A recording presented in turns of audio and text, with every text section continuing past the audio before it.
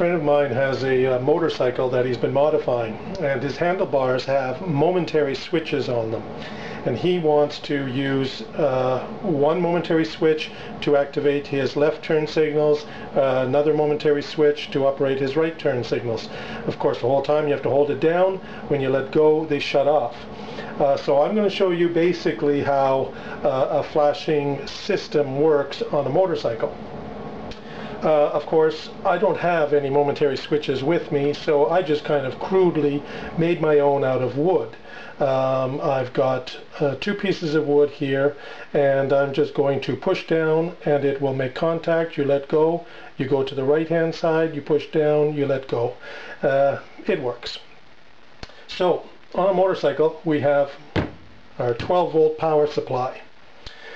I have a very cheap flasher unit that I bought at a uh, local hardware store here.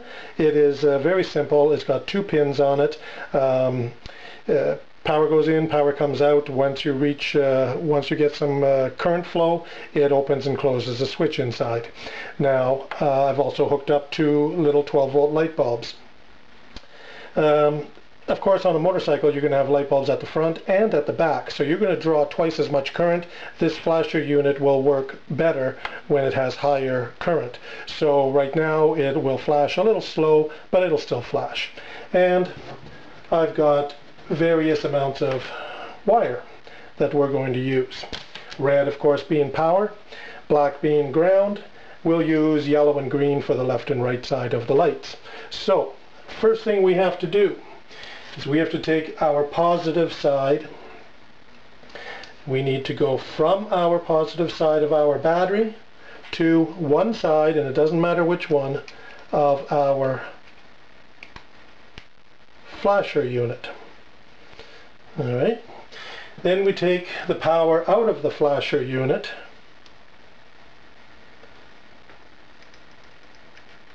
And we are going to go to, I put a piece of metal tape on the bottom. So I'm just going to clamp this to one side of that metal tape and that will make this whole tape 12 volts. So that's my 12 volt uh, bus line. Okay, so we have power going through our little flasher unit and directly into this line. I am going to take I'll, I'll make green the left and uh, yellow the right. So what I'm going to do is I'm going to put an alligator clip, the green one, on the left hand switch.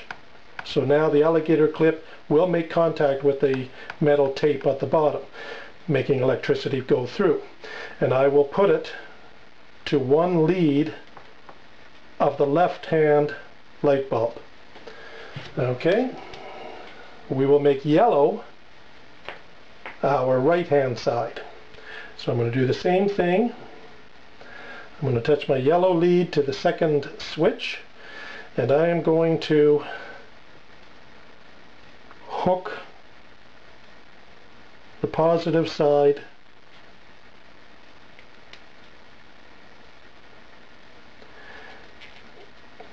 to the right hand light.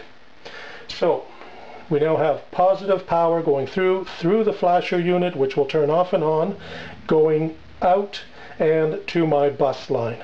From there, depending on which switch we press, power will go through and to the corresponding light bulb. Now we need a ground path from the light bulbs, so I'm just going to hook both light bulbs to ground.